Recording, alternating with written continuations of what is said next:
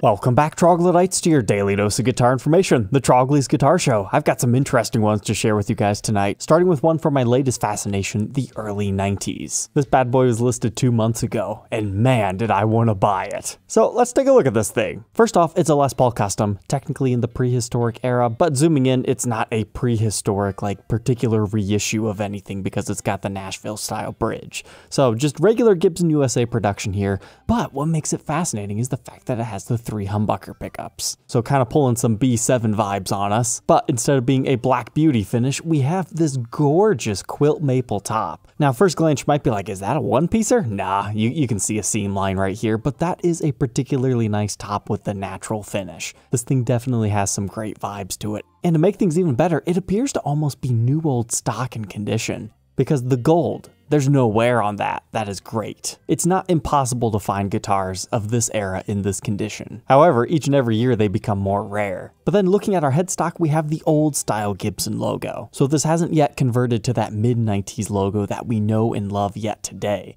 So it still kind of has some like late 80s attributes to it, so I love it for that fact. And then looking at the back here, nothing too spectacular, just some nice wood grain, but great condition.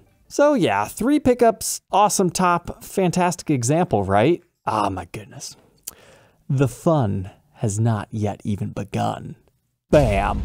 Look at that neck. That is a ridiculously flamed mahogany neck. You generally don't find mahogany quite that figured. so the fact that you find it on a guitar that looks like this on the front, that's just absolutely insane. Like you see flamed maple all the time, but figured mahogany, that's harder to come by. So zooming in here to our serial number, it makes it a 1993 model, so that's correct. Looks like 260th day of the year, but it also has a custom shop edition decal. So that's pretty cool. That means there's more than one of these out here. It was either a catalog guitar or a dealer custom order where they made a small batch of these. Now, whether that's two, five, 10, 20, we'll never know, but it's custom shop originals that usually mean a one-off. It also still has the original case. This is like the perfect storm of a guitar. So you're probably wondering, why did I not buy it? I mean, 8,000, I could see the right end user. However, this early 90s stuff just quite isn't there yet. So I had offered him 6,500 shipped, which I still feel was a very fair offer for that but I was declined. But that was probably because, you know, it was just listed. If I made that same offer today, maybe they would be more willing to listen to it, maybe not. But that was my absolute best offer at that time. So if I'm not going to buy it, I'd rather one of my viewers gets it because that is just a really nice example of the early 90s with some pretty cool woods. But it's Ashrock Guitars in Pleasant Grove that has that one if you're interested in it. But it's kind of strange how much new old stock stuff is showing up from the 90s. People must be retiring that were dealers, because that was the story behind my collection of limited colors edition guitars that I purchased here. And you gotta remember, sometimes when people say it's new old stock perfect condition, what actually arrives isn't actually always as advertised. But continuing on our 90s journey here, granted, the late 90s aren't as cool as the early 90s in my opinion, but give it another 10 years, maybe they will be. This is a custom shop Les Paul custom ordered one off, according to the seller, that they're listing for $4,000. Let's check this thing out.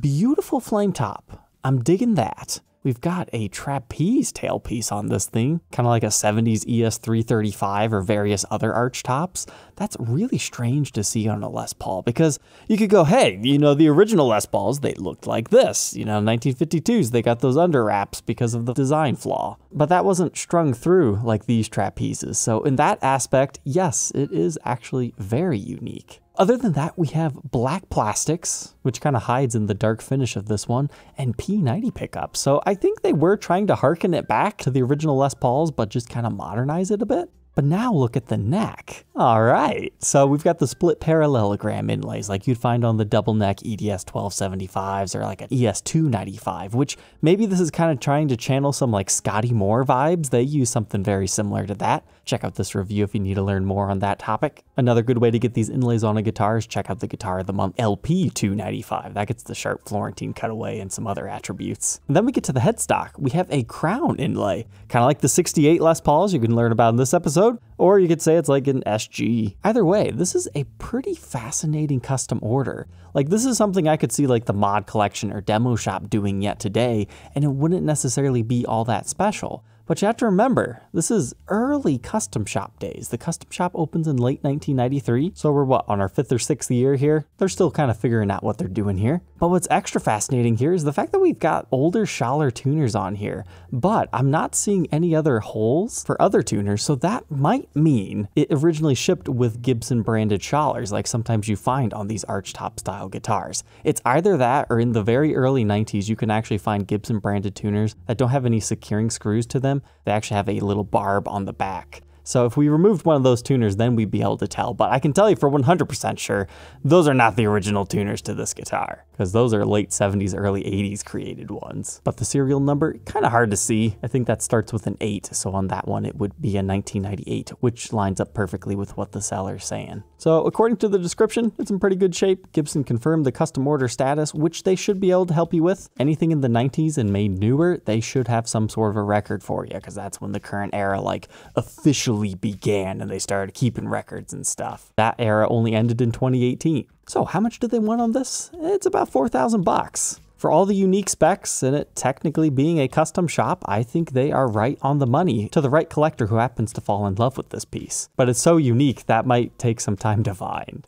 But hey, to round out tonight's episode, let's take a look at a guitar from the very end of the Norlin era, a 1985 Gibson Les Paul Custom. But clearly, this is not just any Les Paul Custom. Somebody's Zakk Wylde this thing. So Zakk's original Bullseye Les Paul Custom is a mid-80s Les Paul. I forget the exact year right now. However, his has a maple neck, so it would have to be very early 80s, late 70s style. However, a lot of guys do that whole bullseye theme, but not a lot of people go after his other buzzsaw theme. So this one's just, you know, completely different from any of the custom shop releases. It has its own purpose. And it even has a factory Kahler for even more fun, right? But the true beauty behind this one is the fact that they also did it on the back. You don't normally get that. And here you can see it's a black finish, so maybe this actually started as an ebony custom, and it's the white lines that are painted over top of it, or maybe they just stripped the whole finish and just did it all custom. Probably easier that way. But what you can't see on the front that you can see on the back is I love that optical illusion they've got going on there. You've got the circle in the center, which just brings that whole illusion to life. I love that. Nice little touch. And judging by the yellowed over lacquer, this is probably a pretty old refin job, and I'm sure it has lots of stories that it could tell us. Because besides the obvious modifications, here we can see the Gibson branding, so that is factory Kahler. We'll have to read the description to find out about the pickups, but we've got a metal switch tip here. The knobs look replaced to me though, because they aren't quite aged, but sometimes it can just be viewing angles. Speaking of viewing angles, looking at it, I never even noticed that the pickguard looked kind of weird.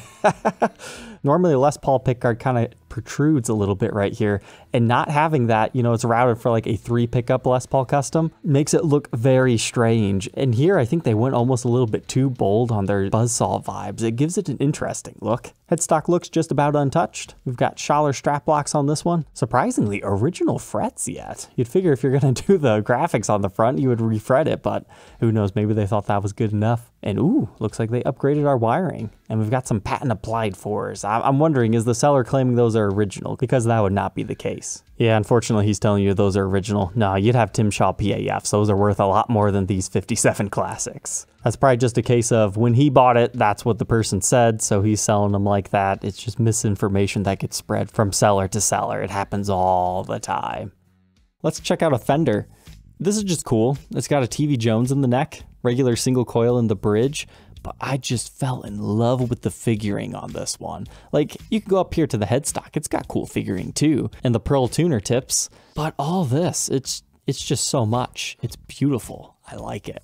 Even the back of the neck is all bird's eyed and whatnot, but whoa, that's from 2017? That's an oldie.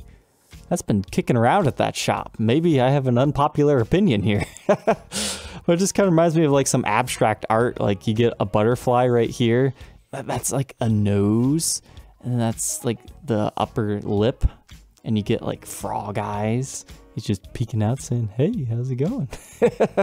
like that's the the bottom part of his mouth. I, I don't I don't know what all this other stuff is, but yeah, that's something I see. I also see a face right here, the eyes, like little nose, the mouth, kind of like an alien mummy type thing. It's kind of a cool Tele, but it seems to have sold fairly recently. All right, troglodytes, I hope you enjoyed tonight's episode. Don't forget to like, comment, and subscribe, and we will catch you tomorrow on the next one. Take care.